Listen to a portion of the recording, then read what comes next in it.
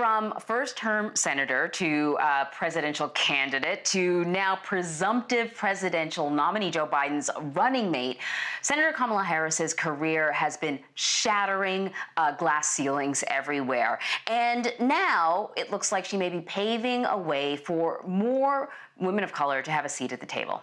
So let us talk about this. We want to bring in Aimee Allison, founder and president of She the People. Uh, Aimee, um, so this has been quite a journey for Kamala Harris, and she's bringing the rest of the country along with her, I think. First, let us talk about the field of candidates that the Joe Biden campaign had to choose from because there were a lot of good ones and a lot of women of color, very accomplished and successful, and would have been good matches. Why did Kamala Harris, do you believe, sort of, why did she rise to the top of the list? Well, I think so many Black women and women of color, I think six uh, Black women and seven women of color in all, were being vetted for the role of VP, all with impressive careers and credentials, as you said.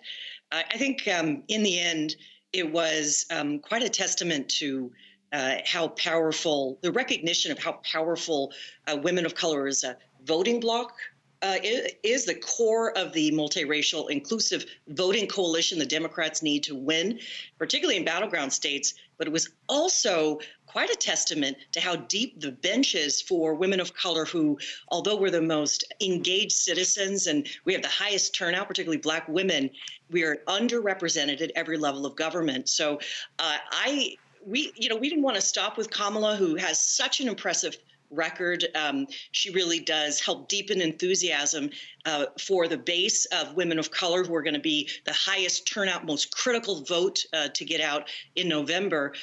But the rest of the women, we expect to see them. I mean, we don't just want to stop with Kamala. We we want uh, women of color, maybe some of whom had been vetted uh, to hold key positions in the cabinet and other influential policy building. We want to see women of color influence the Biden Harris plan in the first 100 days. So uh, we want to uh, see Latina, Asian American, Black, and Indigenous women on all levels of governance. I think that is a great point that you bring up. I think sometimes we have seen this in corporate America where you may get a person of color getting a very key high profile role in a hierarchy. Um, but it's difficult for, for that one person to um, be the, the vehicle for tremendous change when you're trying to change a whole institution, right? You need people at multiple levels. And I don't know, when I watched um, Kamala Harris's debate performance, what I thought to myself is here's somebody who has the ability to push back when it comes to Joe Biden, has the ability to firmly present her argument with Joe Biden. Uh, and so I want to ask you, what do you think her influence will be within this campaign and, and more specifically, sort of the policies that they're putting together for the American people? It's it, there's so many facets to what you said. She's she's tough, she's skilled, she's ready to lead on day one. Um, you know, I want to just call attention to how uh, the senator has showed up in the last four months or so. Uh, she was one of the first from the Senate to show solidarity, but showing up to protest in solidarity with the mm. uh, people in the streets in the wake of George Floyd's murder.